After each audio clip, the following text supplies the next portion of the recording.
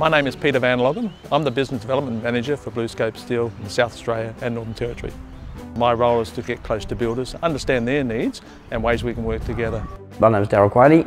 I'm the Construction Manager of Fairmont Homes. Fairmont Homes um, were established in 1966 and here we are today, 50 years later. We build some 800 to 1,000 houses a year and over that years we built 26,000 homes for all different types of clients.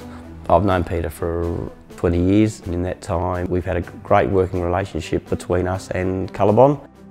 Working closely with Darryl and the team at Fairmont Homes, we looked at ways to actually use Colorbond more effectively. We do parapet walls, Dutch gables, gable infills, which we never used to do with Colorbond, we do now, and that's been a, a big success. Different types of roofs, pitches, and also we uh, use it for external claddings. From a builder's perspective, they love using Colorbond. They find it's quick and easy to install, less waste on site and less callbacks. Ultimately it works out very cost effectively for them. Some of the great advantages of using Colorbond uh, on our roofs are the durability of the roof, the, the maintenance of the, the house after construction, the colours that you can choose these days.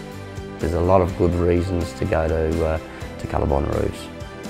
There's many steel products out in the marketplace. We ensure that for our customers we provide Colorbond product as we know it's made by Australians for Australian climate. It's been a real pleasure working with Fairmont Homes and they've been a great advocate for Colorbond Steel.